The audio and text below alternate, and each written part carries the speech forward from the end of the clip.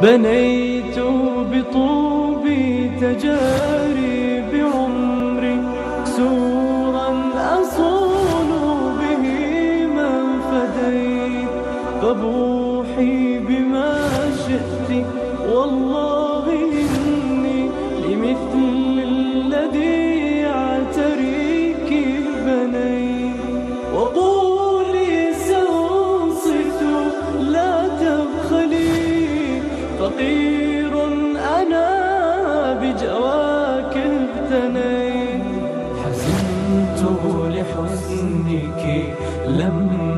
كأني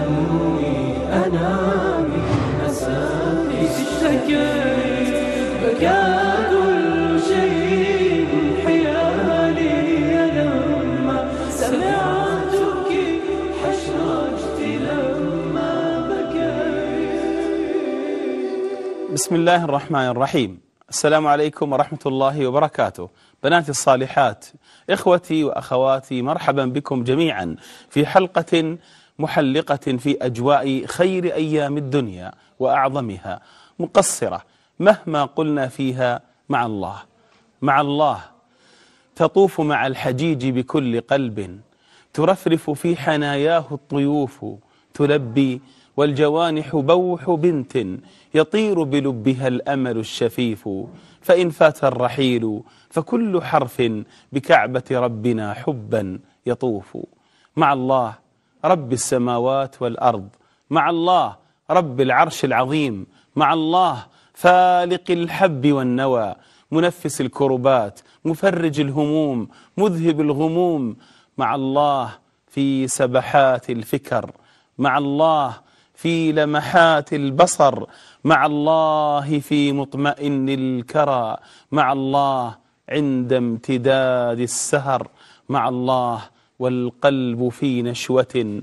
مع الله والنفس تشكو الضجر. مع الله حبيب الطائعين وملاذ الهاربين وملجأ الملتجئين وأمان الخائفين. يحب التوابين ويحب المتطهرين. ليلة معطرة بذكر الله عز وجل تملأها فتياتنا بأجمل القرب وأعذب التراتيل فإلى الفقرة الأولى. بكى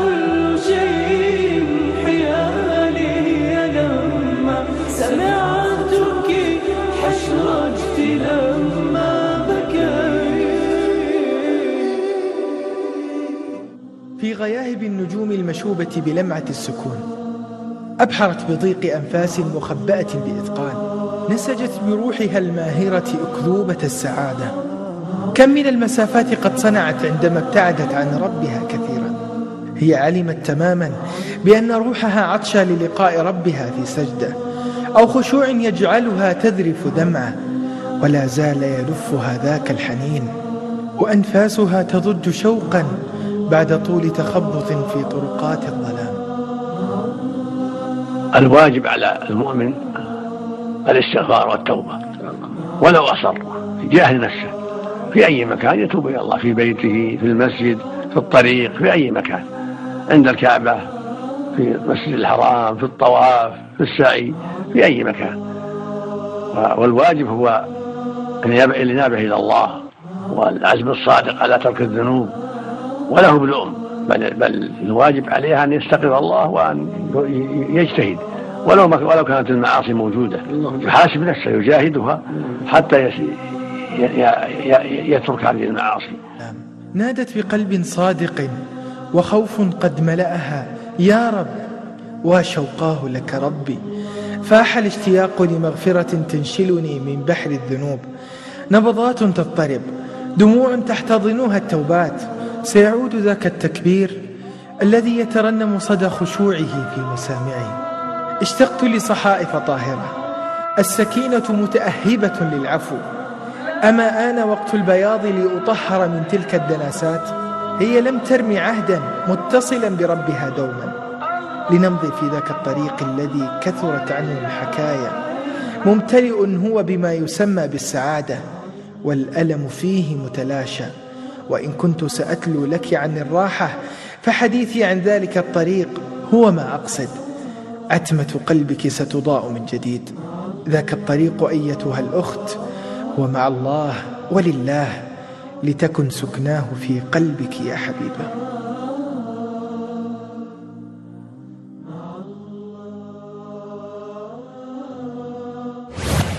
بكى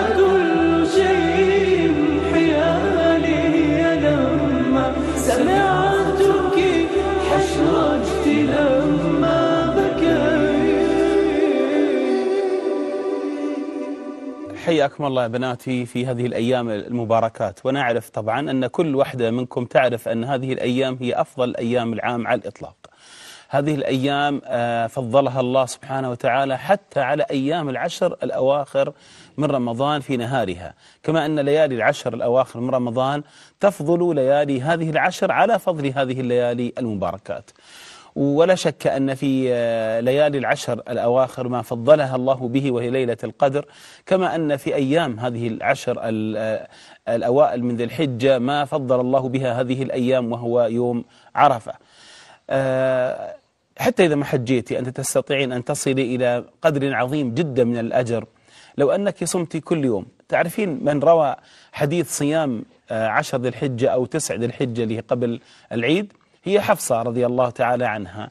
امرأة هي التي روت عن رسول الله صلى الله عليه وسلم في حديث صحيح أن هناك أمور لا يتركها النبي صلى الله عليه وسلم وذكرت منها ثلاث أيام في كل شهر وصلاة آه، الضحى وكذلك تسع ذي الحجة.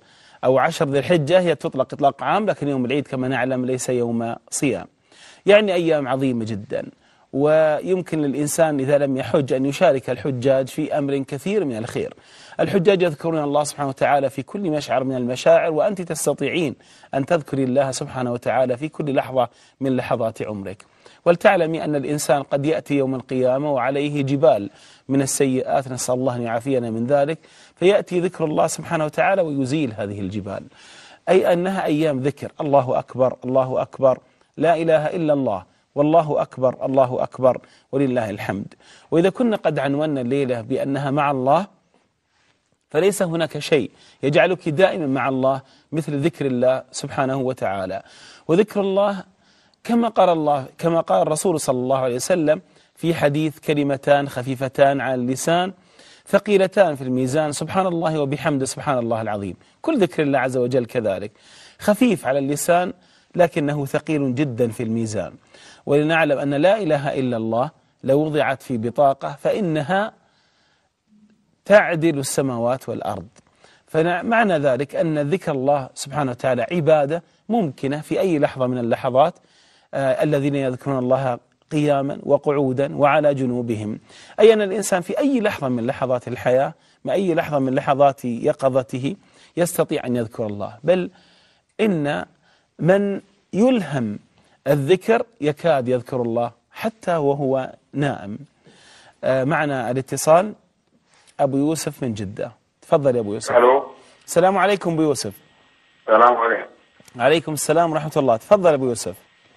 أقول لك أنا بحج يوم سبعة. أي نعم. وحطوف وأسعى متمتعا ثم أقصر وأخلع الأحرام وألبي بالحج. فهل هذا جائز؟ نعم أنت متمتع مع أني أشير إلى أن البرنامج هذا ليس برنامج فتوى. لكن إذا قمت بذلك بنية التمتع يعني أن تحرم بال- بالعمرة متمتعا بها إلى الحج. فتقوم بأداء العمرة اللي هي الطواف والسعي والتقصير الحق والتقصير بعد ركن الإحرام طبعا. ثم بعد ذلك يعني تحل إحرامك. وفي يوم ثمانية تلبس الإحرام من جديد لتلبي بالحج وتهدي بعد ذلك. هذا هو التمتع. شكرا لك. ميسون من جدة السلام عليكم. أيوة ميسون السلام عليكم. ميسون السلام عليكم. عليكم السلام ورحمة الله. أيوة تفضلي ميسون. أولا أشكركم على البرنامج الرائع. شكرا جزيلا لك. وأسأل الله يجزيكم خير الجزاء. آمين يا رب. الفريق العمل وفريق القائمين على القناة جزاك الله خير. الله يشمل الجميع بفضله وساعته شكره. إن شاء الله.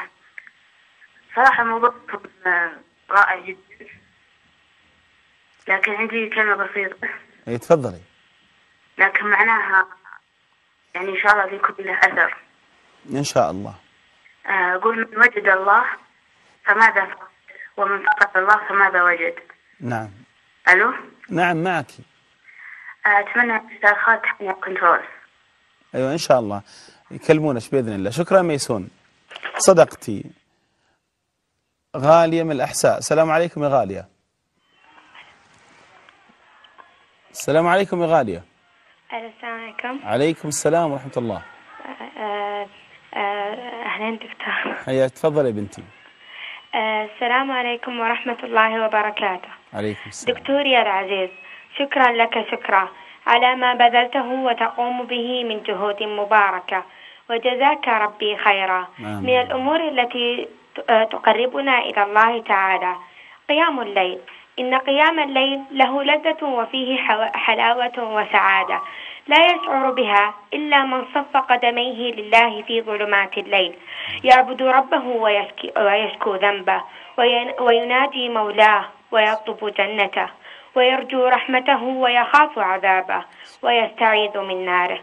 قال الفويض بن عياض إذا لا إذا لم تقدر على قيام الليل وصيام النهار فاعلم أنك محروم وقد كثرت خطيئتك. واعلم أنك واعلم أن قيام الليل هو طريق الصالحين. هو أحسنت. طريق الصالحين وسبيل العاملين وتكفير لذنوب المذنبين وهد- وهداية للعاصين. وأتمنى من أخواتي الكريمات أن يستغلوا هذه الأيام الفضيلة التي تعتبر كنزا للإنسان بقيام الليل والصدقة وتلاوة القرآن وتخصيص على الأقل ثلاث أجزاء يوميا من قراءة القرآن. ما شاء الله. السلام عليكم ورحمة الله وبركاته. عليكم السلام ورحمة الله وبركاته. شكرا يا غالية ما شاء الله. أيضا وصايا غالية جدا. أنا أعتبرها وصايا لي شخصيا قبل أن أقولها لجميع بناتي. هي فرصة ثمينة جدا لنجدد العلاقة مع الله سبحانه وتعالى في هذه الأيام. ونعترف تقصيرنا في قيام الليل وفي صيام النهار. والحمد لله تفضل الله علينا أن هذه الأيام أيام إجازة أيضا في هنا في المملكة العربية السعودية. فليستطيع الإنسان ينام جزء من النهار آه، بعد أن يصلي صلاة الفجر ويجلس إذا استطاع حتى آه، طلوع الشمس ويصلي ركعتين يستطيع ينام من الظهر. ثم يتقوى بهذا النوم على صيام النهار ويتقوى به كذلك على قيام الليل. فإذا صلى العشاء وأدى سنة العشاء ما يصليه بعده هو قيام لليل لا شك أن أفضل طبعا القيام في الليل يكون في آخر الليل أي قبل صلاة قبل أذان الفجر. نسأل الله عز وجل أن يعيننا على ذلك. آه، الحقيقة يعني أشير إلى أن فرصة ثمينة أن نتعلم من هذه المواسم كيف نجدد هذه العلاقة مع ربنا سبحانه وتعالى. فلو رأينا كيف المواسم تتكرر. يجي رمضان وبعد ما يجي رمضان يجينا الحج وبعدين كل جمعة تعتبر بالنسبة لنا موسم لأن يعتبر عيد الأسبوع ونذهب إلى المسجد نحن الرجال ونصلي ونسمع الخطبة ويعود الرجال في أثوابهم ال- الجديدة والجميلة إلى أهلهم لينشروا عبق هذه الجمعة في في بيوتهم. يعني مهم جدا أن نعرف أن هناك مواسم للخير يجب أن نستفيد منها. وإذا فات من الإنسان موسم فعليه أن يستغل الموسم الآخر مباشرة. ألم يجعل الله عز وجل كما ذكر آه، الشيخ علي الطنطاوي رحمه الله مشيرا إلى ما ذكره الله في كتابه أن الله جعل الليل والنهار خلفة لمن أراد أن يذكر أو أراد شكورا. معنى ذلك خلفة أن لو فاتك موسم النهار فعليك بموسم الليل وإن فاتك موسم الليل فعليك بموسم النهار.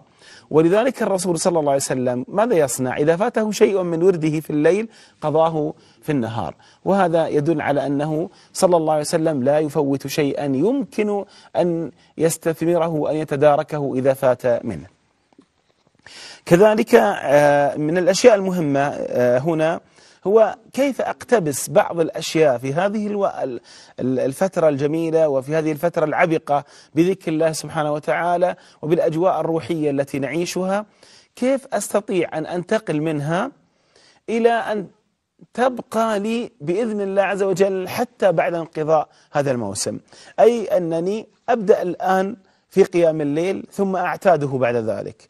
أبدأ الآن بصيام هذه الأيام ثم أعتاد أن أصوم ثلاثة أيام آه، بعد ذلك. أن أبدأ الآن بصلاة الضحى وهي الرابعة من الأشياء ذكرتها حفصة رضي الله تعالى عنها أن الرسول صلى الله عليه وسلم لم يكن يدعها آه، أبدا. أقول هذه هذا الشيء ال- اللي هو صلاة الضحى ممكن أبدأها الآن إذا لم أكن كنت أحافظ عليها سابقا وأستمر عليها أيضا في المستقبل.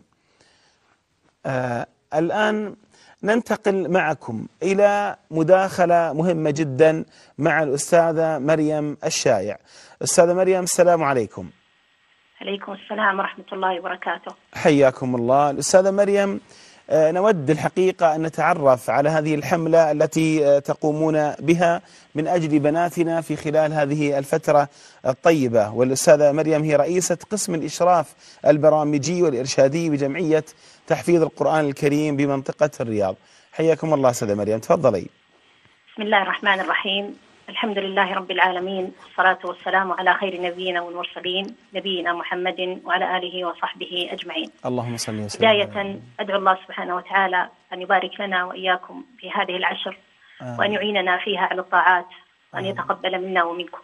آمين. كما أشكر فريق برنامج بوح بنات على استضافته لقسم الإشراف البرامجي والإرشادي ضمن فقرات برنامجه المبارك. شكرا لك. آه، بداية قسم الإشراف البرامجي والإرشادي هو أحد آه، أقسام ال- القسم النسائي في الجمعية الخيرية لتحفيظ القرآن الكريم في الرياض. نعم. آه، أنشئ هذا القسم في هذا العام ويهدف هذا القسم إلى آه، عدة أهداف منها السعي إلى جودة العمل في البرامج وتحسين العملية التربوية والتعليمية في مدارس التحفيظ النسائية.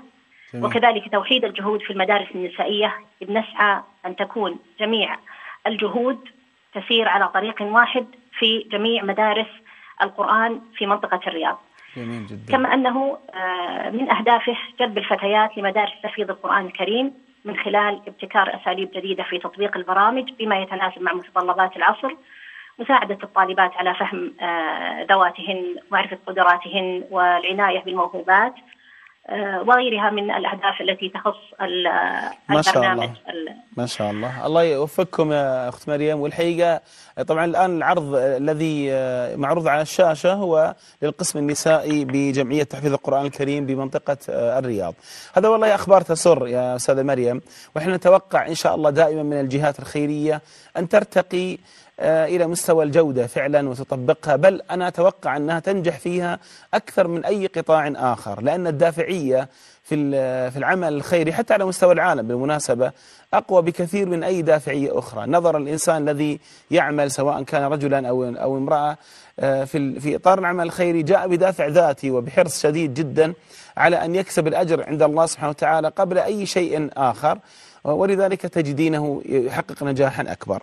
لكن أستاذة مريم يعني قبل أن ندخل في دائرة موضوعنا للوصول إلى الجودة سواء كان في الجا- الجانب التعليمي أو في الجانب المهاري والنشاطات هل آه، وضعت آه، دراسات محددة أو استعنتم بجهات آه، يمكن أن تمدكم بجداول أو دراسات؟ نعم طبعا اعتمدنا على عدة جهات. من نعم. أهمها آه، اللي هي آه، برامج الإشراف أو أقسام ال- الإشراف النشاط في ال- المدارس اللي هي تابعة لوزارة التعليم أيوة جميل. التربية والتعليم. يعني منها التجربة من هناك. نعم. وأيضا من المدارس التي طبق أو ال- التجارب التي طبقت سابقا في مدارس التحفيظ. يعني مدارس التحفيظ لها السبق حقيقة في تطبيق البرامج والفعاليات وغيرها. فكان يعني اعتمدنا كثير على ما طبق سابقا من برامج ما قدمت من دراسات من خلال هذه المدارس. أحسنتي. في قضية في في تطبيق الجودة هناك من يقول أن أوراقها أكثر من حقيقتها. كيف يمكن أن تخرجوا من هذا الإطار البيروقراطي الذي لا فائدة منه؟ يعني أنا أتوقع نعم. نعم.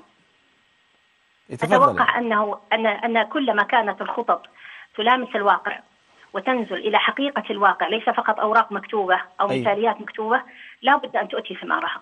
أيوة جميل. أي خطة تضعها تلامس الواقع الذي أنت تريد أن تغيره وتسعى إلى أن فعلا تعالج ما ما يعاني تعاني منه الساحة فأنت ستصل إلى هدفك. مهما كانت أوراقه قليلة أو آه، كثيرة كما يقال. احسنتي. طيب يا أستاذ مريم ننتقل الآن إلى مشروعكم هذا ال- الخاص بهذه الأيام المباركة أظن سميتوه تعظيم الله عز وجل. طبعا هذه خطة القسم خلال الفصل الدراسي الأول. نعم. ممكن نتعرف على الخطة بشكل عام ولو ملامح آه، سريعة. نعم آه، خطة ال- ال- الفصل طبعا القسم آه، اتخذ سياسة أنه ينزل كل فصل دراسي موضوع خاص. آه، هذا الموضوع آه، يطبق في كل مدارس التحفيظ في الرياض. طبعا يعطى فيها القاعدة الأساسية وكل مدرسة تطبقه حسب ما ترى. لكن ال- القاعدة الأساسية أو الموضوع الأساسي يطبق في كل مدارس الرياض. أحسنت. موضوعنا هذا الفصل الدراسي هو في تعظيم الله سبحانه وتعالى حق سبحان الله الله. سبحانه وتعالى. نكمله في الفصل الثاني ثم بعده تعظيم النبي أو حق النبي صلى الله عليه صلى وسلم الله عليه وسلم. ما هي ملامح هذا ال- المشروع الآن الذي يقام؟ كم كم الآن اشتركت فيه من مدرسة؟ ما هي يعني ال- الوسائط والآليات لتنفيذه؟ آه، طبعا تقريبا اشترك فيه أكثر من 300 مدرسة في الرياض كل مدارس التحفيظ النسائية. في الرياض تخضع لهذا ال- ال- البرنامج وضعت له بعض العناصر حتى يعني يسهل تطبيقه في المدارس اللي هي آه، طبعا موجودة في الخطة لو أنها عرضت الآن أمامنا ممكن أنها مو- مو- موجودة ال- العناصر مكتوبة. جميل. يعني جزء ال- الموضوع إلى عناصر حسب الأسابيع. هذا الع... يعني العرض الذي أمامنا يشرح هذا البرنامج بشكل نعم جيد. نعم نعم. نعم. تفضل ثم بعد ذلك ثم بعد ذلك آه، وضعت اقتراحات لتنفيذ هذه الخطة حسب ما يتناسب مع وضع آه، المدارس النسائية. عن طريق مسابقات عن طريق محاضرات عن طريق آه، آه، الاستماع إلى مقاطع صوتية عن طريق آه، عروض مرئية آه، كلها تصب في قالب واحد وهو تعظيم الله سبحانه وتعالى. في مواقع محددة ل- على الإنترنت من يريد أن يتعرف على البرنامج أكثر أو بناتنا اللي في الرياض أو غيرهم ودهم يستفيدون كيف يستطيعون التواصل؟ عن طريق منتدى الجمعية جمعية تحفيظ القرآن الكريم بالرياض. وأيضا آه، عن طريق آه، رابط آه، برنامج ال- ال- الإشراف البرنا- البرامجي والإرشادي. أيوة. آه، وحبذا لو أنه يخرج على الشاشة اللي هو الرابط. ممكن التواصل معنا من خلاله. إن شاء الله الكنترول يطلعون الرابط. أستاذة مريم ما أدري كيف يعني ممكن أن تشيري إلى المسا... إذا في مسابقات ودك البنات أنهم يشاركون فيها في مسابقات محددة؟ طبعا عندنا مسابقة غرس وحبذا لو تعرضونها الآن. أيوة. من المسابقات اللي آه، اللي أقيمت آه، على مستوى مدارس الرياض. مسابقة اسميناها غرس أحببنا أن يكون اسمها غرس نغرس فيه القيم والمبادئ والإيمانيات في قلوب النشء. الله سبحانه وتعالى أن يعيننا على هذا الشيء. آمين يا رب. آه، مسابقة غرس لهذا الفصل هي عبارة عن جزئين خاصة في الطالبات. الجزء الأول أو عبارة عن فرعين عفوا. فرع يتحدث آه، فرع عبارة عن أفضل موعظة كتابة أفضل موعظة وإلقائها طبعا في تعظيم الله سبحانه وتعالى. سبحانه وتعالى والفرع الثاني آه، عمل أفضل آه، مونتاج في تعظيم الله سبحانه وتعالى. هذا التاريخ متى آخر تاريخ بالنسبة للمونتاج هذا ال- ال- المونتاج ال- المدارس يتم تسليمه بإذن الحي القيوم بعد العيد. إن شاء الله تعالى. وإن شاء الله لعلنا نتواصل معكم ونرسل لكم بعض المنتجات الفائزة إن شاء الله تعرضونها. بإذن الله عز وجل. آه، إحنا الآن مسابقة غرس على الشاشة آه، أذيعت آه، شكرا جزيلا لك يا أستاذة مريم. تريدين تضيفين شيء قبل نهاية اللقاء؟ آه، فقط أن آه، يعني آه، أنبه حبيباتي وبناتي آه، أن آه، هذه الأيام العظيمة يظهر فيها مدى تعظيم العبد لله سبحانه وتعالى. سبحانه وتعالى. فإذا كان العبد يحب ربه ويعظم ربه يظهر منه من العبادات ما يدل على هذا العمل. وأنا أقول يا حبيباتي يا غالياتي أشغلتنا الآن هذه الأجهزة وهذه ال- ال- ال- ال- الانفتاح الإعلامي. حقيقة أشغلتنا وأشغلت قلوبنا عن الطاعات. فحبذا لو أنها استغلت في ما يقرب إلى الله سبحانه وتعالى. ما يمنع أنك تشغلي لك محاضرة في فضل العشر محاضرة في شيء يقربك الله سبحانه وتعالى يرقق قلبك هذه هذه فتح من الله سبحانه وتعالى لكن لمن استغلها في طاعات الله سبحانه وتعالى أسأل الله. سبحانه وتعالى أن يعيننا وإياكم على طاعته وأن. يثبتنا وإياكم على دينه وأن يتقبل منا ومنكم آمين. صالح العمل شكرا جزيلا للأستاذة مريم الشايع. نسأل الله عز وجل يقويكم ويوفقكم لعمل الخيرات وهنيئا لكم هذا التجاوب الرائع جدا أيضا من جميع الأخوات في مدارس تحفيظ القرآن الكريم. تسمحين لي أن أقول الجوال ينتهي ب 96 يفيدكم هذا؟ نعم. يفيدكم؟ أذكر الجوال الذي آه، بين يدي ينتهي ب 96 ولا ما يفيدكم؟ أيوة. آه. طيب. إذا يكفي ما خرج على الشاشة. من أجل أن يتصل بكم آه، تتصل بكم البنات ليستفيدن إن شاء الله من هذا البرنامج. شكرا لك والسلام عليكم. الآن ننتقل إلى فقرة جديدة وهي بصمة بنات. بنيت بطوبي تجاري بعمري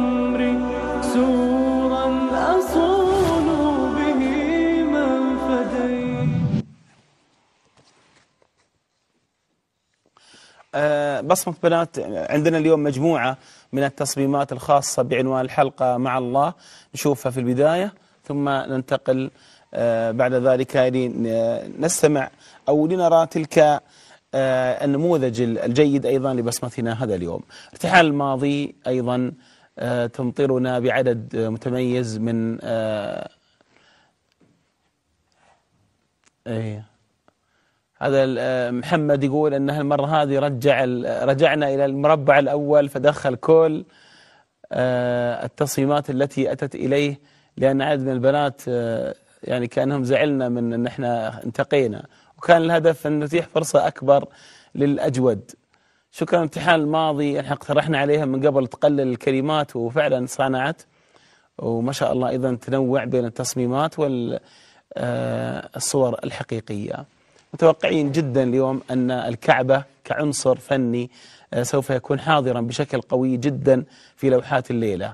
هذه أنفاس الدعوة كذلك تستغل أو تستوظف آه، هذا العنصر الجميل. مع الله تطيب الحياة يا خواطر متابعة. ونفس الشيء آه، كما ذكرنا. عش مع ربك بين الخوف والرجاء. اللهم لا تحرمنا حج بيتك. أسأل الله عز وجل ييسر الحج لكل بنت يمتلئ قلبها بالإيمان بالله عز وجل. زهور الريف كذلك وزينب باع عباد آه، ألا بذكر الله تطمئن القلوب. آه، هذه أخت سمت نفسها غايتي أن أترك أثرا والله اسم جميل جدا وهذه أنت تتركين الآن آثار طيبة. هدوء المطر ابدأي صفحة جديدة وبدور ناصر أيضا صورة فوتوغرافية. سارة الأحمد وأنا ودي أشكر سارة على أيضا آه، في كل مرة تنزل لنا عنوان الحلقة في الإنترنت ويعني نقوم بعمل رتويت له ليصل إلى الناس. لمسات كذلك ومشاعر حساسة. كن مع الله يكن الله معك. وأفنان العياف آه كذلك أفنان قدمت لنا آه شيء آخر. شيماء شوقي آه شيماء شوقي أكثر من لوحة. ويعني حتى حضور الحج لأن إحنا في أشهر الحج آه أكيد سيكون واضحا هذه الليلة وتوقعته مع أن إحنا حطينا مع الله بشكل عام لأن إحنا لسنا أصحاب آه، فقط آه، عبادات مرتبطة ارتباط واضح واحد بموسم. فإذا انتهى الموسم انتهى ارتباطنا بالله. لا هي المواسم الحقيقة تعطينا فرصة ثمينة جدا. أن نرتبط بربنا أكثر وأن نتواصل مع ربنا سبحانه وتعالى أكثر. سمية البكري هي التي ستكون إن شاء الله آه هذه الليلة آه بصمة بصمة هذه الليلة. سمية بنت عبد الله بن إبراهيم البكيري. السلام عليكم سمية. وعليكم السلام ورحمة الله. حياكم الله. آه سمية ودنا تعرفين بنفسك تعريف سريع ممكن؟ ممكن. آه اسمي سمية عبد الله الكيري آه عمري 17 سنة. في الصف الثاني الثانوي. هذا تعريف بسيط فيه. أحسنتي. في أي أي المواهب يا سمية؟ آه شفتيها مبكرا. يعني اكتشفتي موهبة مبكرة جدا وهي اللي كانت بداية لاكتشاف مواهب أخرى. آه حقيقة موهبتي كتابة وأ- وأرى فيها متعة الموهبة حقيقة. نعم. أجمل ما أرى فيها. الكتابة. يا سلام. الكتابة في أي مجال؟ مقالة قصة رواية؟ أكتب آه، قصص خواطر وما شابه. من الذي كان وراء هذه الموهبة؟ حقيقة هو من المدرسة صراحة. آه، في حصص التعبير.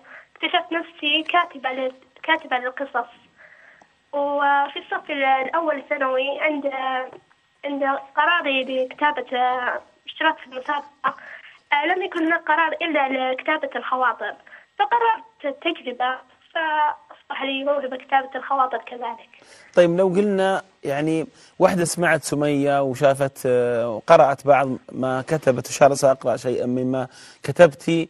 ودها تصير مثلك. أنت ما شاء الله الحين 17 سنة وبديتي الكتابة نتوقع إن شاء الله إذا استمريتي في صقل هذه الموهبة أن تكوني أفضل بكثير إن شاء الله في المستقبل.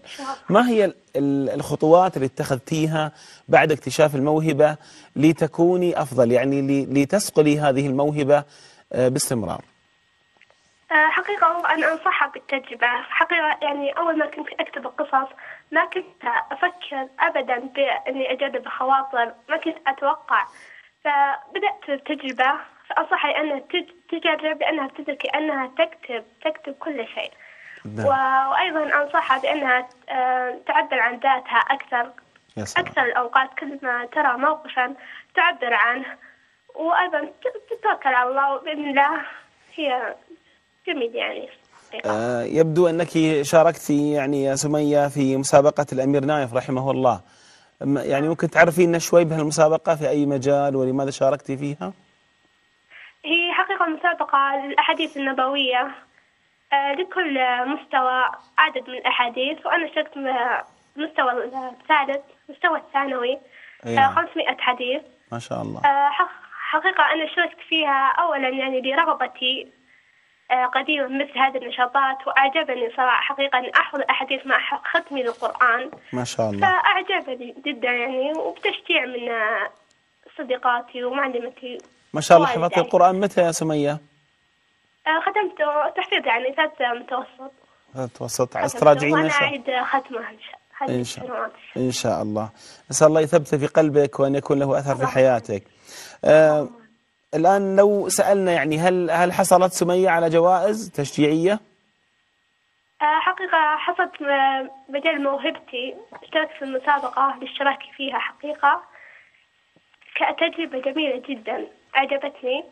آه، فأعطتني حصلت على جائزة تهنئة لي بتلك الموهبة ونالت إعجابي حقيقة وحماسي جدا. الحمد لله. تستاهلين أكثر اللي يحفظ القرآن ويحفظ السنة يستاهل كل شيء. إحدى زميلاتي اليوم قالت من وجد الله ماذا فقد؟ ومن فقد الله ماذا وجد؟ فأنا أقول من الذي الذي يحفظ القرآن الكريم ويحفظ السنة ماذا بقي؟ ومن لم يحفظ ماذا حفظ؟ يعني حتى في حديث الرسول صلى الله عليه وسلم لأن يمتلئ جوف أحدكم قيحا حتى يريه خير من أن يمتلئ شعرا أنا أحفظ شعرا كثيرا.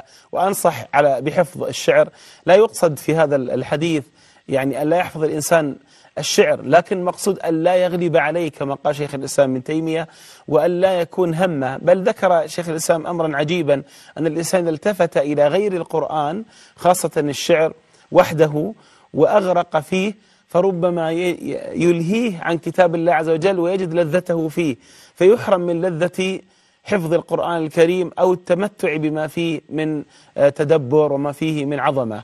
فهنيئا لك الحقيقة ونهني والديك أيضا بحفظ كتاب الله عز وجل. آه، أكيد يعني أنت ودك تقولين شيء للبنات بعد أن حفظتي الأحاديث. يعني يمكن واحدة الآن تسمع تقول والله 500 حديث هذا كثير. تستطيع الواحد تحفظ هذا العدد؟ ودي تقولين تجربتك يعني. آه، حقيقة أول تجربتي كان هو أصلا أنا رغبتي أولا. ف سأشترك يعني 150 حديث ما كنت أفكر آه، بأني سأشترك 500 حديث أبدا. ما شاء آه لكن المعلمة لي آه فاطمة العتيبي الله يجزاها خير وأستطيع أن أقول إنها روح تنبض بالجمال أينما كانت. حقيقة هي هي الذي التي يعني حمستني لهذا الشيء. فبدأت بالإجازة نظمت وقتي وحددت آه، أحاديث كي لا أتهاون وهذا لا حقيقة أول في بدايتي لم ت... لن أج... لم أجد لذة أبدا وكانت كهم لي لكن في في. في طريق للحفظ وجدت لذة وأنس وسعادة. وكل شيء أنا وجدت ما شاء الله يا سمية. الله يوفقك يا رب. وإحنا نشكر الأستاذة فاطمة أيضا العتيبي على تشجيعها. أنا أشكرها ليس فقط لنفسها هي وتستحق ذلك ولكن أقول لكل معلمة أتركي أثرا. كل المعلمات يا معلمات ترى هذا الوقت اللي تمر يمر عليكم ممكن تصنعون مثل سمية. ممكن بالكلمة الطيبة وبالتشجيع ممكن تصنعونها. وممكن العكس ممكن واحدة تقول حق واحدة تجي واحدة تقول لها أنا ودي أشترك في مسابقة الأمير نايف في تحفيظ القو... في تحفيظ في حفظ السنة. كم حديث؟ أو 500 آه كثير. هذا بيضيعك هذا بيخليك يعني المسابقة بتلهيك عن دراستك. يمكن يمكن أن تكون واحدة ضعيفة الهمة وتقول مثل ذلك. وتأتي واحدة رفيعة الهمة مثل الأستاذة فاطمة وتستطيع أن تصنع لنا مثل سمية. شكرا عموما سمية أنت ما شاء الله معون علم كما يقال. وفيك الخير الكثير. أعدي نفسك لتكوني داعية في المستقبل قادرة على التأثير إن شاء الله في أوسع نطاق. لك الآن في عدد ما شاء الله من داعياتنا سواء داخل بلادنا هنا في السعودية أو بقية بلاد العربية. كيف الله عز وجل نفع بهن بهن وأصبحنا ما شاء الله منارات عطاء. ليس فقط آه، في الجامعة التي تدرس فيها ولا المدرسة اللي تدرس فيها وإنما أصبحت منارة عطاء في كل مكان. أنا أتوقع لك ذلك. إحنا نريد بس منك يا سمية تقرأين لنا جزءا من أي شيء تختارين مما كتبتي. يعني ثلاثة أسطور أو أربعة أسطور عندنا اتصالات تنتظرنا تفضلي. إن شاء الله. آه هذه أحرف نسجتها عند ختمي منهج حفظ الأحاديث النبوية. هذه الإجازة وتنظيمة النهاية أتغنى صاحا بابتسامة. تلك كانت البداية كمثقلة تحمل هما بيديها. راودتني هوادث الانسحاب لكن بعزيمة خدت خيط ذيك البداية. وبعد الحين والحين ألهم ذاك هو متعتي الآن وسر سعادتي وكل أنسي بين حناياها أنقش روعة ما أرتل به. وأترنم بجمال الروعة ما شئت. أتعمق في تفاصيل العبارات هي روعة المتعة لدي. ويوم بيوم أترنم وأرتل السعادة إلى حيث منتهى تلك البداية. نهاية بداية ترني بالقوية. طبعا هي سعادتي ولن أتخلى. هي معي أحاديثي وصحبتها كم أنا لها من العاشقين. أهواك أنا بعمق أحاديثي. وفرح وفرحة الحسم لنا تراني بالمصطفى لمسابقة الأمير الله نايف رحمه وسلم. الله. ترسم لي ملامح باسمة بسعادة بالغة. أحسنتي ما شاء الله تبارك الله. وفقك الله وأنا أنصحك كمختص في الأدب أن تقرأي كثيرا في كتب الأدب بشتى ألوانها وأنواعها. ما دمت حفظت القرآن والسنة لا تخافي اقرأي بتوسع وستكونين أفضل إن شاء الله في المستقبل أيضا مع أن هذا المستوى الحقيقة مستوى طيب جدا. شكرا لك ونسمع الآن بعض اتصالات آه، بناتنا. السلام عليكم حليمة. أيوة حليمة. حليمة من أبها. وعليكم السلام ورحمة الله وبركاته. تفضلي يا حليمة. الله أكبر الله أكبر الله أكبر. لا إله إلا الله. الله أكبر الله أكبر الله أكبر. ولله الحمد. الله أكبر. مع الله؟ كل الدروب تجلب المتاعب إلا درب واحد. هو درب رب العالمين وحده يجلب السعادة. سبحانه جل في علاه. ما خاب من دعاه ورجاه. مع الله ليس في حال الشدة فقط. بل حتى في حال الرخاء والنعيم والسعادة. مع الله في مواسم الخير وفي غيرها. مع الله في كل حال. فليس لنا رب سواه. الله سبحانه لا يرد داعيا رفع يده ليطلبه. فإما أن يجيب له دعاه وإما أن ينجيه من كرب أو مصيبة كادت أن تقع له أو أن يرزقه رزقا طالما تمناه. كوني مع الله ليكن الله معك. لا تطلبي غير الله في كل حاجاتك الدينية أو الدنيوية. أيضا كوني مع الله وبالله فسيسر لك أمورك وسيزولهن لك. بإذن الله. أحسنتي حليمة ما شاء الله. أستاذ خالد وجميع طاقم برنامج ضوح بنات وجميع المتابعات والمتابعين. الدعاء لصديقتي الغالية في تويتر سماء زرقاء فهي مريضة بعد حادث أصابها عصر هذا اليوم. ما شاء أسأل الله. الله الواحد الأحد الفرد الصمد بأسمائه الحسنى وصفاته العلى أن يشفيها ويشفي جميع مرضانا آمين. ومرضى المسلمين. آمين آمين. شكرا شكرا جزيلا يا حليمة. معنا أيضا لينا من الرياض. السلام عليكم لينا. السلام عليكم ورحمة الله وبركاته. حياكم الله لينا. تفضلي. لو سمحت عادة أقول إهداء بسيط لأمي بمناسبة الحج. كيف؟ عادة أقول إهداء بسيط بمناسبة الحج لأمي. إي تفضلي. فديتك يا ماما لقيت يما حنان اسمك فيني وشلون ضمت يدينك يا بعد راسي؟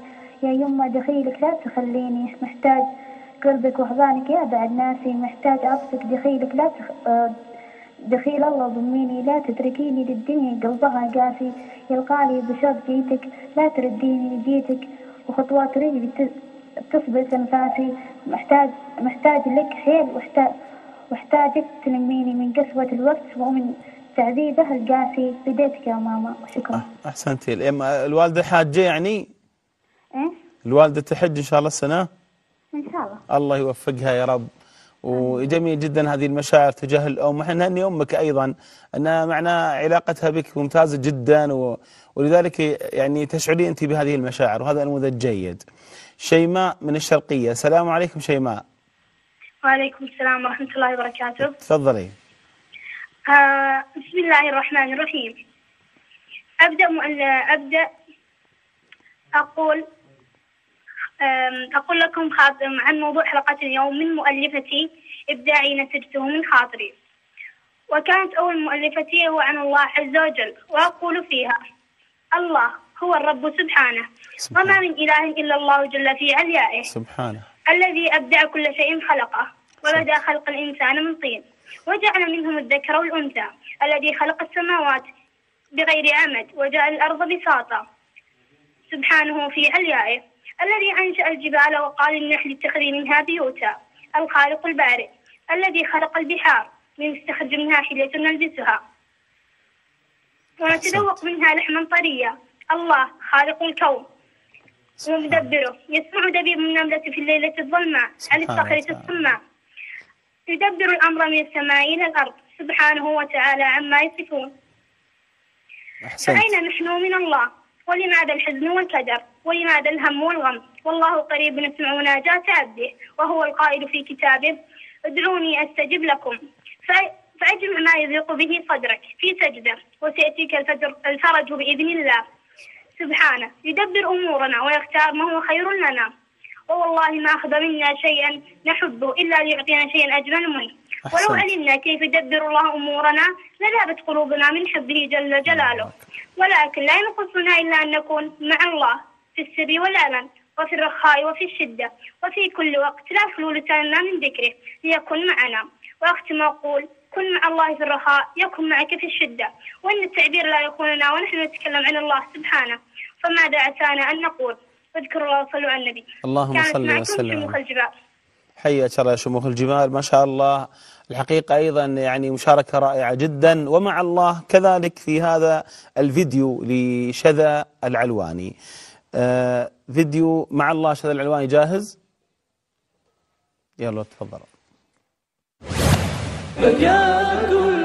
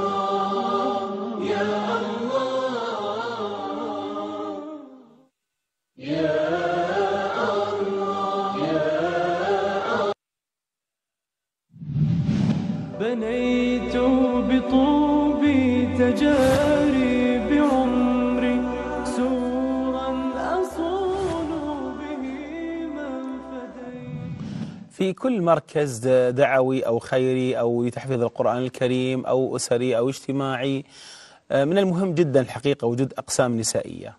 آه، نحن نؤمن بأن المرأة نصف المجتمع وهي تربي النصف الآخر يعني المرأة أخذت المجتمع كله.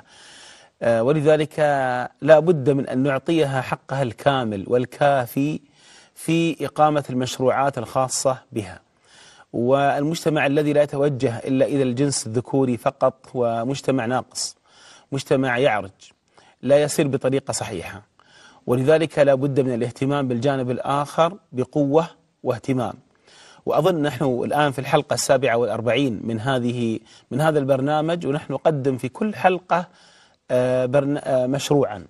معنى ذلك أن عندنا عشرات المشروعات النسائية والتي أثبتت نجاحها بقوة. نرحل إلى هناك إلى الشرقية إلى الأحساء حيث مركز المركز التعاوني للدعوة والإرشاد ودعوة الجاليات. هذا ال- المركز آه، العريق جدا والذي آه، كان له ولله الحمد ولا يزال أثر عظيم جدا في إنتاج غير طبيعي غير عادي مذهل الحقيقة.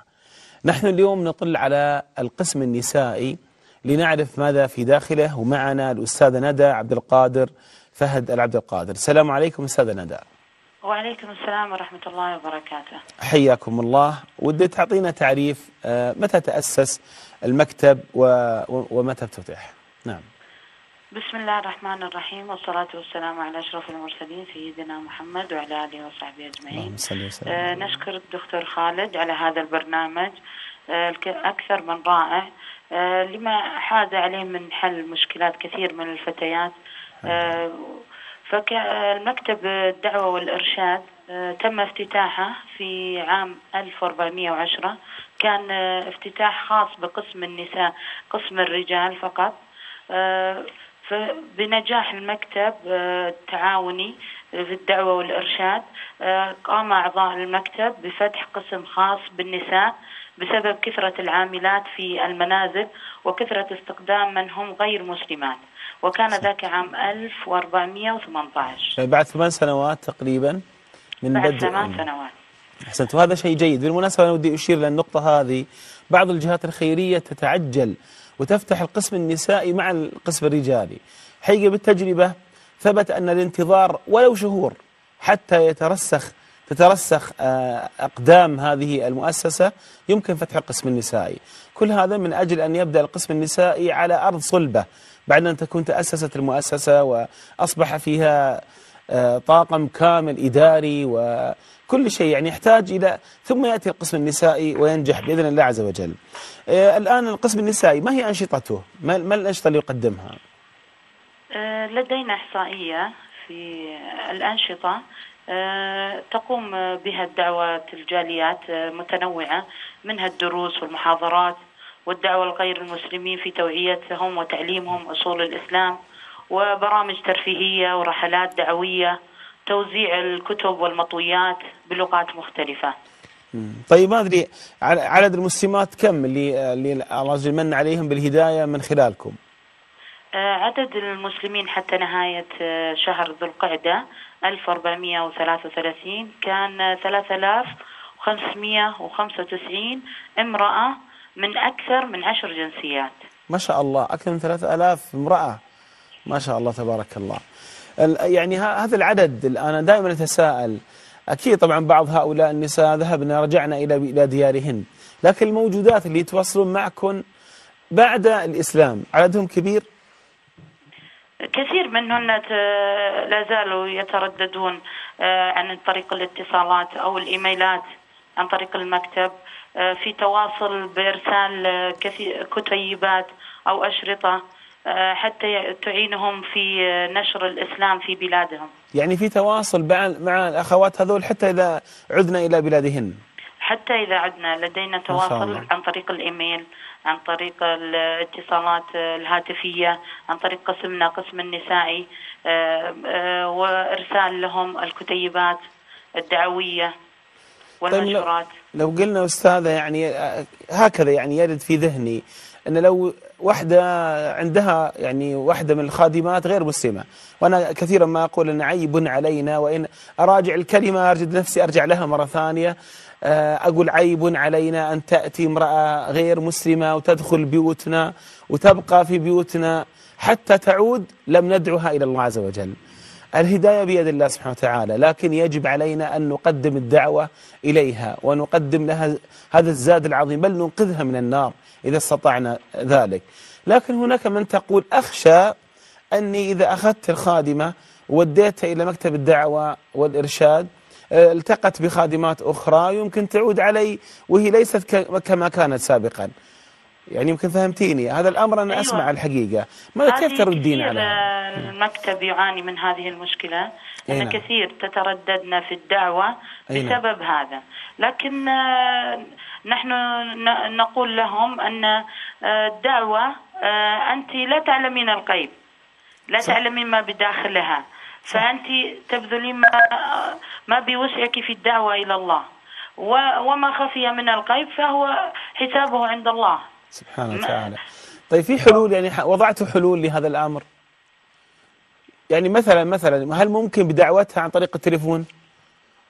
يوجد لدينا دعوة عن طريق التليفون أيوة. نقدر آه، الداعية آه، يكلم من هي عاملة لديها لا إيه. تريد إحضارها لكن نعاني من مشكلة ليس فقط أنها آه، آه، تدخل في دين الإسلام ولكن آه، تعليمها أمور قد تحتاج الإسلام إلى التعليم. فهي تحتاج إلى الحضور إلى المكتب طيب ما كثير فكرتوا منهن يطلبن أن يكون الداعية عن طريق الهاتف لا تريد إحضارها لكن تعاني من مشكلة في تعليم الخادمة طيب ما ما في فكرة معلش يا أستاذ ندى معلش أسمعيني يعني هل في الإمكان مثلا إقامة برنامج تدريبي لهؤلاء السيدات اللي عندهم خادمات؟ فهمتيني؟ يعني لو مثلا أعلنتوا كذا عن عن برنامج اللي عندها خادمة غير مسلمة تأتي إلى المكتب السيدة نفسها يعني ال ال الأم أو خلينا نقول الزوجة ال- السيدة نفسها تأتي لتقدم لها برنامج كيف تدعوها إلى الله عز وجل؟ إذا هي مصرة ما تبغى تجيبها يعني. ويمكن إذا جاءت تقتنع أنها تجيبها. آه، نحن كثير من يأتي إلى المكتب إيه؟ آه، للتبرعات. نقدم لهم الكتيبات آه، بأي جنسية نسألهم أي جنسية آه، لديها خادمة. ونقدم لها الكت- الكتيبات هدية. ونقول لها ادعي العاملة التي عندك في البيت. صحيح. جميل. نحاول أن نفهمهم هذا بهذا الأسلوب. الحقيقة. تدعوها مهما كان آه، فهي سوف تحجها في يوم من الأيام أنها يوم القيامة لم تدعني إلى الإسلام. هذا الكلام. هي بعضها تقول ما أدعوها عشان ما تتغير علي عشان ما تتأثر يتأثر عملها. أنا أستغرب الحقيقة كيف الإنسان يعني يبيع الآخرة بالدنيا. يخيل تخيل واحد يقول أنا أخاف أدعو العامل عندي للإسلام يصوم رمضان بعدين يقل عمله في رمضان. يعني تصور دنيوي بحت محض. يعني الإنسان الرسول صلى الله عليه وسلم يقول لأن يهدي الله بك رجلا واحدا. خير لك من حمر النعم. من حمر النعم. أي نعم. طيب يعني ألا ترين أن ال- أن المكتب بالمناسبة أنا متحيز جدا للمكتب واحبه حب خاص يعني مكتب الدعوة والإرشاد في الأحساء. آه، ويعني أنا أفخر إن عندنا في الأحساء هذا المكتب. ولكني أقول أليس المكتب يقصر في قضية آه، حملة مثلا على مستوى البيوت؟ آه، كيف تدعون آه، آه، الخادمات؟ كيف تدعون العاملين؟ أو أنا اللي أنا مقصر في معرفة أن هناك آه، برنامج ولكني لم أعرفه. لدينا برنامج أقمناه من آه، آه، بداية آه، العام المنصرم. آه، بزيارة المدارس جميل وتوعية إلقاء محاضرات توعية من هم آه، طالبات آه، بحسن المعاملة وكان من ضمن البرنامج توزيع الكتيبات والأشرطة في في دعوة العاملات من قبل الفتيات من أيوة. قبل ممتاز. الفتيات الصغيرات. آه، آه،. بتقديم هدية كتيب للخادمة تدعوها فيها للإسلام. يا سلام يا سلام. أنا أبحث عن هذه الأفكار الإبداعية. كان ال- هذا البرنامج من ضمن البرامج اللي طبقت هذا العام. طيب تركت أثرا؟ لقيتوا أثر الآن ولا ما بعد؟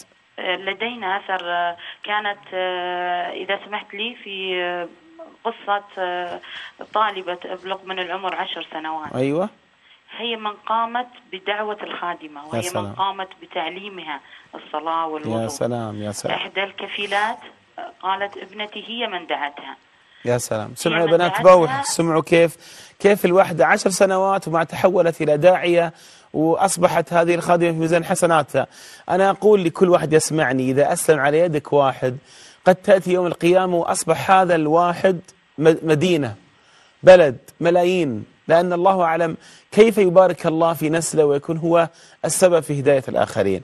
طيب يا أستاذ معلش أنا وقت يضيق علي لكني أود أنك تعطيني كيف ال- المعاملة وأثر المعاملة لهداية هؤلاء الناس الذين يأتون بلادنا ليعملوا بين أيدينا؟ هذا ما كنت أريد أن أتحدث عنه يا شيخ. نعم.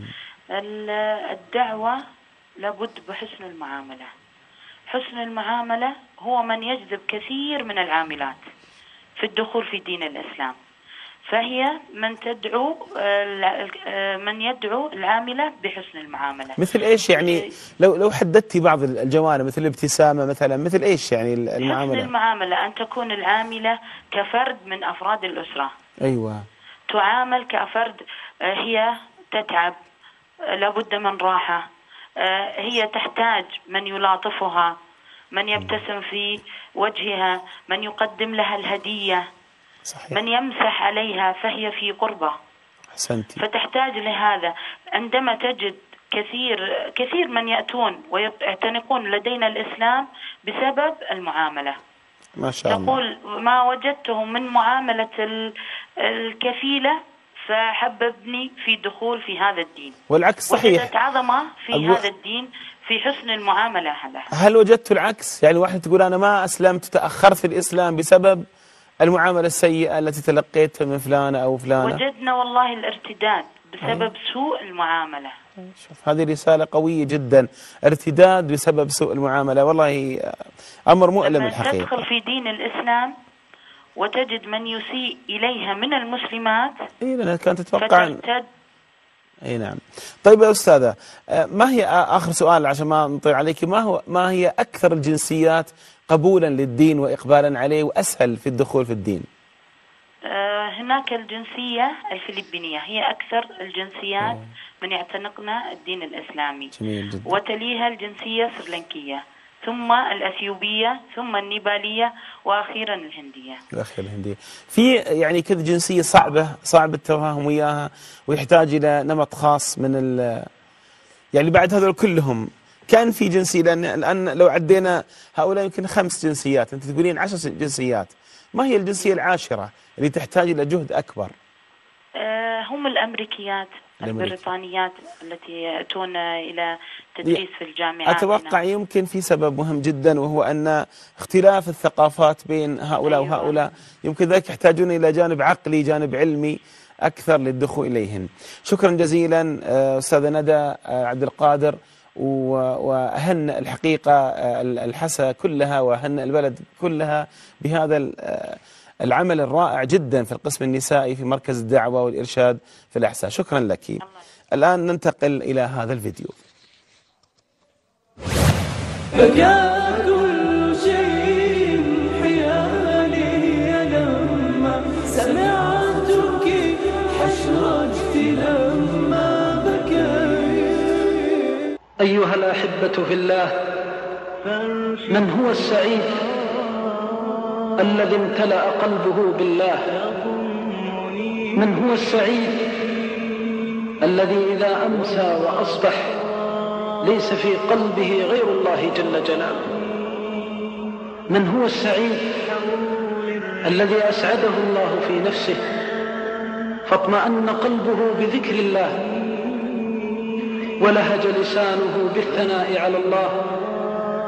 من هو السعيد؟ الذي أقر الله عينه بالطاعات وسره بالباقيات الصالحات. من هو السعيد؟ الذي أسعده الله في أهله وماله وولده. فرأى قرة العين وحمد الله سبحانه وتعالى على القليل والكثير. من هو السعيد؟ الذي أسعده الله بين الناس فعاش طيب الذكر. حسن السمعة لا يذكر إلا بخير ولا يعرف عنه إلا الخير. من هو السعيد؟ الذي إذا وقف على آخر أعتاب هذه الدنيا وقف بقلب ثابت ولسان ذاكر قد رضي عن الله فأرضاه الله. من هو السعيد؟ الذي إذا دنت ساعته وحانت قيامته تنزلت عليه ملائكة ربه تبشره بالروح والريحان والرحمة والغفران وأن الله راض عنه غير غضبان. من هو السعيد؟ الذي ختم له بخاتمة السعداء. فكان آخر ما نطق به من الدنيا لا إله إلا الله. بنيت بطوبي تجاري بعمري سورا أصون به من آه، كنا في الفيديو السابق من هو السعيد بخواطر آه، متابعة واليوم آه، نعود مرة ثانية لمحمد ونشوف الأخبار اللي عندها. يا محمد تفضل. سلامك الله. بسم الله الرحمن الرحيم. آه نبدأ مع عناوين الأخبار.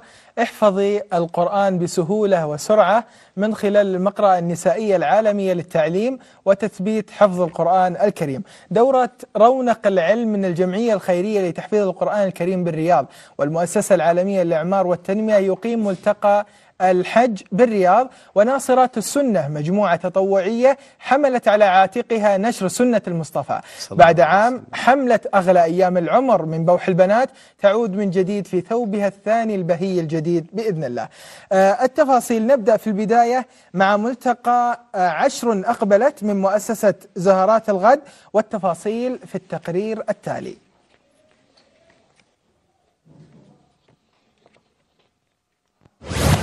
بكى كل شيء حيالي لما سمعتك حشرجت لما بكيت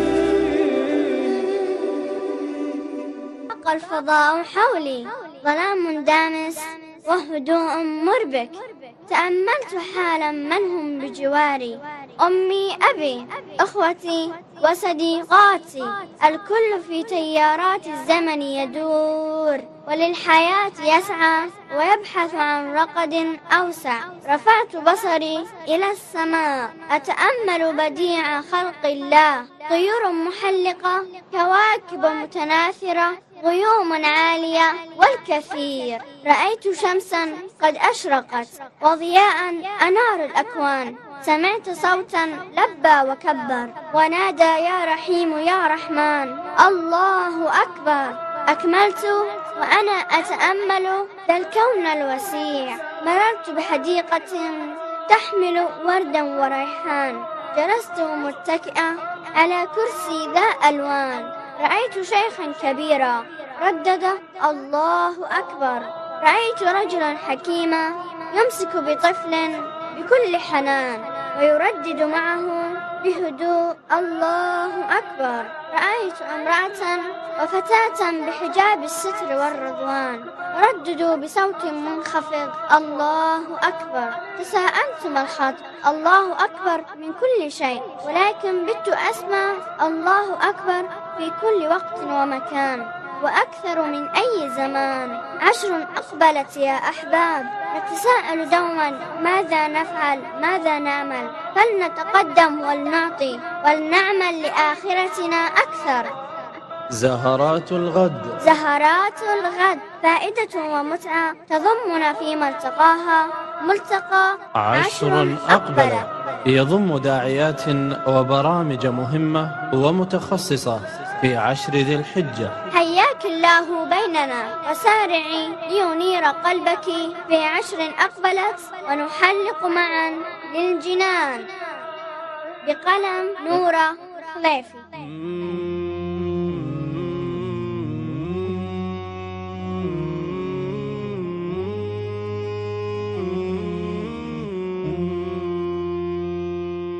يا صاحبي أيقظ فؤادك واستقم. وارسم حياتك شعلة تضوي همم نور زوايا الروح تقوى وهدى. تعلي مقامك سعادة من غنم. يا صاحبي أيقظ فؤادك واستقم. وارسم حياتك شعلة تضوي همم نور زوايا الروح تقوى وهدى. تعلي مقامك يا سعادة من غنم. فاشدد يمينك وارتقي بتلاوة. تهدي فؤادك للضياء وللقمم. زهراتنا حب إخاء وعطاء. تسمو لنيل الجنان والنعم. تبني إخاء وتنير الفضاء زهرات غد خطت يمينا للقمم. ترقى لغيم وتردد للعلا.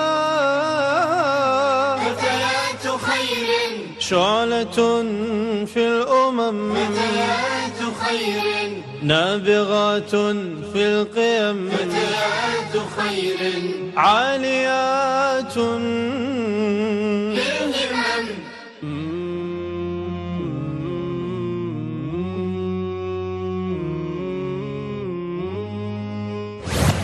بالهمم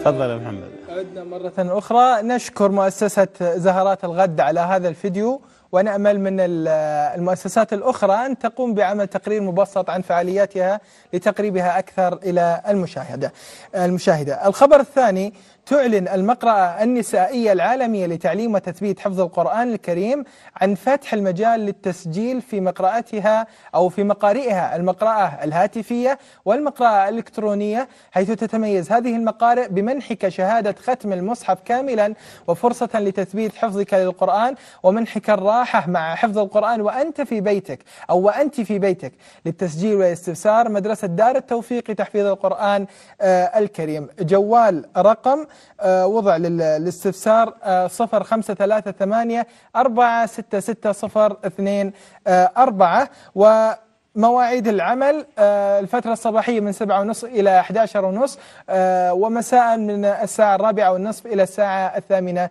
مساء. خبرنا الثالث حيث يسر جمعية الخيرية لتحفيظ القرآن الكريم بمنطقة الرياض المركز الدائري الشمالي. دعوتك للانضمام معهم بدورة رونق العلم كل خميس من الساعة السابعة والنصف إلى الثانية عشر بمكتب الإشراف. طبعا هذه الفترة الصباحية في الفترة الصباحية بمركز طبعا النسائي آه، بالمنطقة آه، آه، بالمركز النسائي آه، في المنطقة الدا- الدائري الشمالي بحي المصيف بجانب معهد لولو أرميح. ومن الأمور التي تتضمنها الدورة جانب العقيدة للدكتورة مضاوي الغيث وجانب التدبر مع الأستاذة أمل الحميضي وغيرها من الجوانب. هناك حضانة للصغار للاستفسار من الساعة الرابعة إلى الخامسة من السبت إلى الثلاثاء. ورقم الجوال الموضوع لذلك 055 07 982 6 آه، ثمانية. خبرنا الثا... آه، خبرنا الرابع حيث ابتدأ القسم النسائي بالمؤسسة العالمية للإعمار والتنمية ملتقى الحج من يوم الأمس الأربعاء آه، واحد 12 إلى 4 12 آه، وهو الموافق ليوم السبت وهو من الرابعة والنصف آه، عصرا حتى العاشرة مساء. برامج للفتيات والأطفال وعروض بروجيكتر ومبيعات متنوعة. للاستفسار وضع الرقم 0500 24677 ستة. خبرنا الخامس من العالم الافتراضي. حيث قامت مجموعة من الفتيات أسمين أنفسهن بناصرات السنة بالبدء في مشروع نشر سنة الخير البرية على المواقع الاجتماعية وعلى برامج التواصل الحديثة. تقول إحداهن نحن مجموعة من الفتيات أحببنا تعريف العالم بأعظم رجل مشى على الأرض محمد صلى الله عليه وسلم خاتم خاتم الأنبياء والمرسلين. بدأنا من برنامج الكاكاو ومن ثم الواتساب ثم أنشأنا حسابا في تويتر والفيسبوك ليعم النفع أكثر وتصل سيرة وسنة النبي صلى الله عليه وسلم إلى كل من يرتاد هذه المواقع الاجتماعية. قمنا بنشر كتيب أكثر من ألف سنة في اليوم والليلة على شكل حلقات وكذلك يومي آه، وسلسلة حلقات من كتاب الرحيق المختوم كما سيطلقنا سلسلتي الأربعين النووية والأحاديث القدسية في شهر محرم بإذن الله عز وجل. حساب المجموعة على تويتر ناصرات N A S E R A T 1433 وعلى الفيسبوك باسم ناصرات السنة. خبرنا السادس والأخير من بنات بوح البنات حيث يعلن فريق برنامج بوح البنات عن حملة أغلى أيام العمر. الجزء الثاني والتي ستنطلق بإذن الله يوم الاثنين القادم 6 12 وستستمر حتى يوم الأحد 13 12 بمشيئة الله. وذلك على صفحة البرنامج على الفيسبوك بوح البنات وحسابها على تويتر بو بي أو اتش واي 11 آه، سيوضع هاشتاج للحملة حملة أغلى أيام العمر للتفاعل مع الحملة آه، من خلاله. ستتضمن الحملة على العديد من الزوايا منها قبل أن نبدأ وهمسة وصورة عن ألف كلمة وبوح البنات واستثمريها وداعية البوح. مسابقة أغلى أيام العمر وهي آه، وستوضع لها جوائز قيمة بإذن الله بانتظار المتفاعلات والفائزات بالمسابق آه، بالمسابقة. تجدون التفاصيل في الصفحات بإذن الله تعالى آه، المتنوعة والمعروفة لديكم في على حسابنا على تويتر بوحي آه، 11 وكذلك على الفيسبوك باسم بوح البنات وكذلك جوجل بلس برنامج بوح البنات. وقناتنا على اليوتيوب برنامج بوح البنات ومنتدى وموقع البرنامج باسم كذلك آه، بوح البنات. وكذلك نسعد بخدمتكم من خلال الإيميل البرنامج بوحي 11 بي بي أو إتش واي 11 at hotmail.com لاستقبال المشاركات المتنوعة في الحملة وغيرها وكذلك استقبال استشاراتكم النفسية والتربوية من خلال فريق برنامج بوح البنات للاستشارات المتخصص. آه، استشارتك ستكون في سرية تامة وستصلك في وقت قصير بإذن الله مدققة شرعيا ولغويا لفريق آه، جمع وأقيم من أجلك آه، أختي آه، المشاهدة. هذا ما لدي وشكرا. المستشارات أو المستشيرات من البنات يرسلون أيضا على بوحي 11 إي نعم الاستشارات ترسل. على وتعود إلى إيميلها مرة أخرى بسرية كاملة. إي نعم بإذن شكرا جزيلا يا محمد. شكرا. والآن ننتقل إلى ع- فيديو لهدوء المطر بعنوان أيضا مع الله.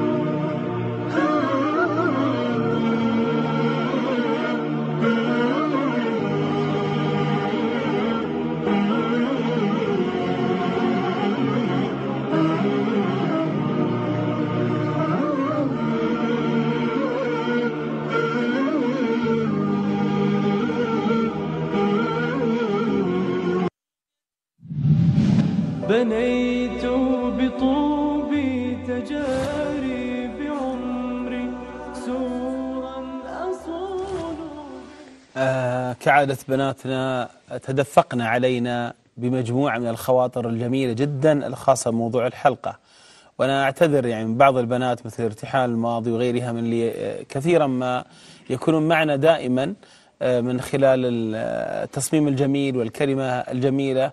كذلك أن نتيح المجال لأخريات وسنضع كل آه، ما جاءنا إن شاء الله على آه، مواقع البرنامج المختلفة.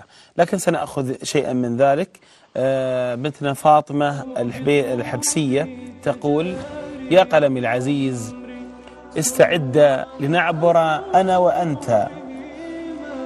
نعبر عن حبنا عن العظيم الذي خلقنا يا قلمي أتعلم أن أول المخلوقات هو أنت؟ تريد القلم طبعا وليس قلمها. فكيف يا ترى ستساعدني لأن أعبر عن ذاك الحب الجياش الذي يستوطن أعماقي الذي لا يفارق قلبي لأنه الماء الذي يحيا به هذا القلب الفقير؟ هيا يا حروفي لملمي نفسك وخطي معي أحلى الكلمات والعبارات. ولو أنك يا حروفي بسيطة وذليلة أمام ذاك العظيم كيف لا أحبه؟ وهو من أوجدني في هذه الحياة. كيف لا أعبده؟ وهو يراني ولا أراه ولكن حبي له لا يكفيه الحبر ولا الأوراق. فحين أسقط وحين أيأس وحين أحزن أشعر بلطفه يسري في عروقي. كالماء العذب. دموعي قبل أن تسقط يحس بها ذلك العظيم ويذكرني ويذكرني بأنه قريب مني فلا أحزن. وكم من الأمان التي أتمناها أدعوه لتحقيقها ولا زلت أدعوه لأنني أثق بأنه سيحققها لي ولن يخيب ظني أبدا. حياتي بقربه مثل الهواء الذي أتنفسه لينبض قلبي بحياة جديدة. أما إن ابتعدت عنه أحس وكأنني مقطوعة من أصلي لا مأوى ولا ملجأ. باختصار يا حروفي إنني لو بدأت في الوصف فلن أنتهي أبدا وستنتهين أنت وسيجف حبر هذا القلم اليتيم. ألا بذكر الله تطمئن القلوب. صدق الحق حين قالها فقلوبنا بذكره تعود لها الحياة وتشرق شمس آمالها من جديد. فإن مر يوم كامل بلا ذكره فهذا القلب يموت يموت يموت نعم يموت. يا كلماتي يا عباراتي رددي معي. أحبك يا الله أحبك يا الله فأنت المأوى الذي لا تبرأ مني. والحبيب الوحيد الذي لا يتغير علي أبدا مهما كانت ظروفي أنت يا ربي أملي الذي أحيا به وبدونك يا ربي أغرق في بحر اليائسين. زهور الريف تقول عظيم الكربات محروم اللذات هزيل الذات يحيا دنياه حياة الأموات صرعته اللكمات والصدمات. تصاحبها آهات ينوح فما لصوته صدى يتمزق فما لجرحه تمتد يد يد مداو مشفق ينسيه ما قد عانى فيجد الحزن رحل والجرح قد مات لكنه لو أدبر عن هم همه ظهرا وأقبل بقلبه على المولى سحرا لوجد الأنس والأمن والأمان عنده ويصبح بأفضل حال وقد انقشع همه والوجه تهلل واستضاء بنور ربه وهكذا يحيا حتى يلف بلحده. لن وتنفس هواء إيمانك تأمل في نفسك ماضيك وحاضرك ومصيرك. اخشع وأطلق ماء العين لتهطل بغزارة على نيران الآثام فتطمئ فتطفئها وتخمدها. على نور الشوق إلى الله فيشعلها ويقويها وبها أحي ليلك متهجدا. كبر ورتل اطمئن اركع واسجد. فجر توسلاتك. هل من مستغفر؟ فأغفر له. هنيئا لك تلبية دعوة من لا تقفل أبوابه؟ الغفور الرحيم الكريم الجليل. الذي يعطي بلا حدود.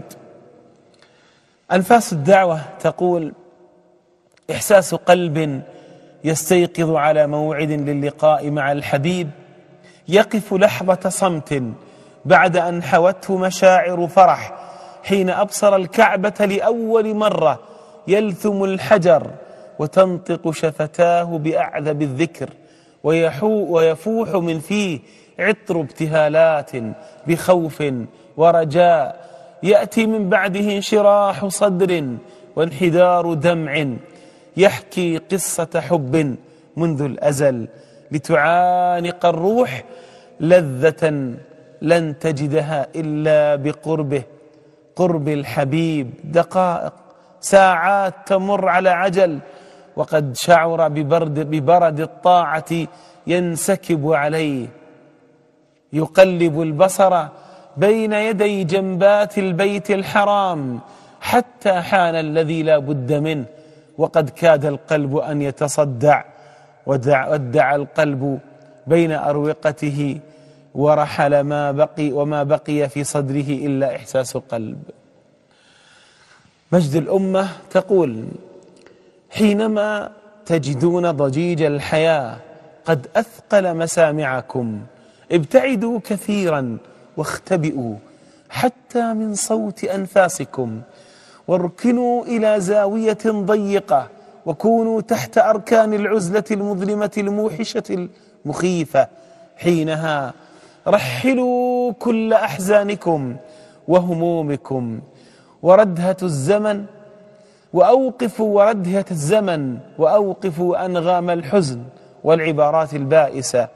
فثمة نور يسطع من السماء وحبل طويل ينتظر قبضة أيديكم. اقتربي منه فبابه مفتوح لا يغلق. اطلبيه اسأليه لا تترددي. ابعثي بأحلامك بآمالك وأرسليها مغلفة بالثقة واليقين. فسبحانه إذا أعطى أدهش. فإلى القلوب الصالحة الطائعة التي تبتلى بالدعوات وتتمنى التوفيق والفرج. وإلى القلوب المفرطة عودي عودي ما دمت تحمل تحملين روحا تستنشق طعم الحياة.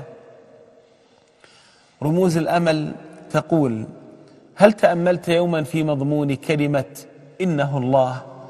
إنه الله تعالى في قدرته. إنه الله واسع الرحمة. إنه الله بديع في مخلوقاته. نعم عظيم أينما أمعنا النظر في ملكوته. شيد الجبال الرواسي على الأراضي القفار وزين السماوات بمصابيح ليس لها مضاه. خلق الإنسان وما أعظم خلقته. كل معاني التفكر في هيئته. خلق الحيوان فتعالى سبحانه في قدرته في صنعه. فمنها القوي الذي تمادى في قوته ومنها الضعيف الذي لحكمة أرادها الله أوجده. خلق وخلق لا إله إلا هو. سبحانه له الحمد وله الشكر حمدا كثيرا طيبا. فهل جلسنا لحظة لحظة من التأمل والتفكر لنقول إنه الله سبحانه وتعالى الذي تجلى في ملكوته. أسماء تقول إله خلق السماء بغير عمد فسبحانه من رب رحمته سبقت غضبه. أعزنا بالإسلام ولذذ قلوبنا بالصلاة إليه وبارك في زكاة أموالنا وقوانا في صومنا وفي الأشهر الحرم حج تروم فيه النفوس رحمة ربها وترجو وتتغنى في دقائق عمرها بالذكر والقرآن ليزيدها ربها عزة ورفعة. بناتنا ما شاء الله الليلة حقيقة تألقنا في كتابة هذه الكلمات الجميلة الرائعة. يشعر آه، الإنسان وهو يستمع إليها بروح تسري في داخلها روح ليست عادية أبدا روح آه، عظيمة جدا. ولا شك أن آه، أن هذا هو الإبداع. وننتظر المزيد المزيد. ولا شك أن موضوعنا يستحق أكثر وأكثر أن نكتب فيه. كما قالت لنا إحدى بناتنا قبل قليل اكتبي كل ما يعن في قلبك وفي صدرك. قوليه بكل صراحة. آه، أريد أن أودعكم. بدون شك أننا في هذا اليوم المبارك ونحن قد أمضينا عدة أيام من أيام العشر المباركة ونستقبل هذه الأيام إلى يوم عرفة. أوصيكم بأشياء مهمة جدا تلاوة القرآن بأن تصومي قدر ما تستطيعين من هذه الأيام وخاصة يوم عرفة. تذكرين الله عز وجل كثيرا. آه، إذا استطعت أن تضحي فضحي. فما في أفضل في يوم العيد من أن يراق دم لله سبحانه وتعالى من دماء الأضاحي. كل ذلك ينتظرك من الأجر والثواب. ثم من الآن نقول عيدكم مبارك. سيتوقف البرنامج بالطبع في الحلقة القادمة والتي آه، تليها ونلتقي إن شاء الله بعد العيد بإذن الله عز وجل. إلى ذلك الموعد أستودعكم الله تعالى وإلى اللقاء. والسلام عليكم ورحمة الله وبركاته. تمنيت دمعك لامس قلبي لعلي أرويه وأبقى لبوحك صندوق سر ومنك ابتدأت وفيك انتهيت ولا ضاق صدرك من علة شكوت لظاها ومنها اكتواني